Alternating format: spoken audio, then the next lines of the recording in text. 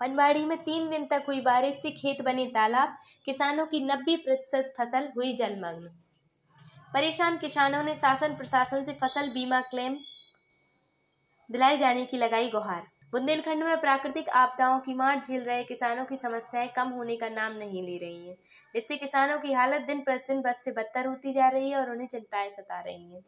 सबसे बड़ी चिंता किसानों के सामने बच्चों की शिक्षा व्यवस्था एवं बच्चियों की शादी की बनी हुई है।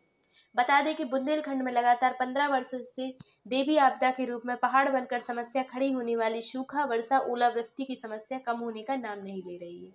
अभी तीन दिन से हुई भीषण चक्रवाती वर्षा ने किसानों के खेत तालाब में तब्दील हो गए। खेतों में त्योहार, खड़ी सत्तर प्रतिशत खरीफ की फ़सल जिसमें उर्द मूंग तिल क्षतिग्रस्त हो गई है। इसी के साथ 20 प्रतिशत फ़सल खेतों में कटाई करके मुड़ाई के लिए पड़ी हुई थी, जो जल भराव में डूब चुकी है।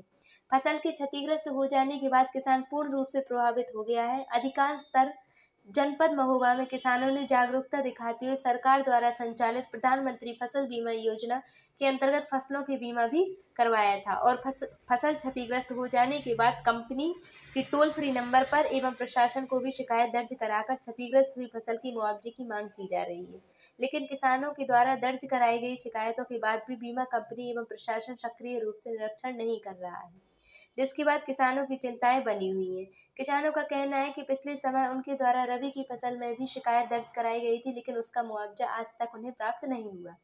इसी के साथ पनवाड़ी ब्लॉक की दवा गाँव के किसान राजेश पाठक नाराज़गी जताते हुए बताते हैं कि शासन प्रशासन के साथ साथ हमारे जनप्रतिनिधियों की भी जिम्मेदार हैं कि वह किसानों को इस परेशानी के समय उनकी खेतों का निरीक्षण करें एवं किसानों से संपर्क करें और उन्हें मुआवजा दिए जाने का हर संभव प्रयास करें।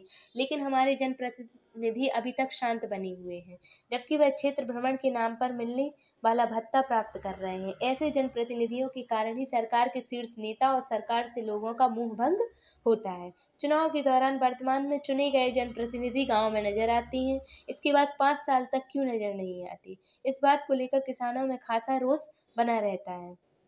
रूसी, रूरी खुर्द के भान प्रताप पटोरिया धवार के प्रकाश कुशवाहा सतौरा के दुर्ग सिंह मंडवारी के देवेंद्र बबेले भी बताते हैं कि उनकी फ़सलें पूर्ण रूप से वर्षा में क्षतिग्रस्त हो गई हैं। तो भाई साहब क्या नाम है और कहाँ के रहने वाले हैं? क्या समस्या है आपकी? जी मैं धवार गाँव का रहने वाला हूँ। पनवाड़ी ब्लॉक में आता है। यह समस्या का है ये खेती की सबसे बड़ी समस्या क्या है। नाम है आपका? राजेश कुमार पाठक। सर कम से कम तीस पैंतीस बीघा ये थे और जो है जो कटने के समय बिल्कुल कटाई का समय आ गया था। कुछ कट भी गए थे? कुछ थोड़ा बहुत जैसे हलैया खाड़ कट गए थे इसके बाद का हो कि आज चार पाँच दिन से इतनी घनघोर बरसात हो रही क्योंकि कोसें लगी लगाई भी खेत में गिर गई। अच्छा। और पूरी फ़सल नष्ट हो गई सड़ गई मतलब हम तो बहुत परेशान है भैया आप क्या कर? कोनो चारो ही नहीं है जो लगा ससो के एक ऐसा कछू गिर जाए जी में हम ही मर जाए ससो सो सब पटा जाए जो अपनी तक कहाँ से जी ढोर बछेरू लड़का बच्चा जी काय भी पलट पोसत। आ, सरकार ने एक जो है प्रधानमंत्री फ़सल बीमा योजना चलाई थी उससे आपने करवाया था बीमा या नहीं करवाया? बिल्कुल बीमा करवाया था। इस साल का तो बीमा हर साल में तो नियम से भी बीमा करवाता हूँ। जो मटर का बीमा करवाया था वो आज तक नहीं आया। इसका बीमा करवाया था कुछ कहा नहीं जा सकता। रिपोर्टर ब्रजेंद्र गुप्ता पनवाड़ी महोबा।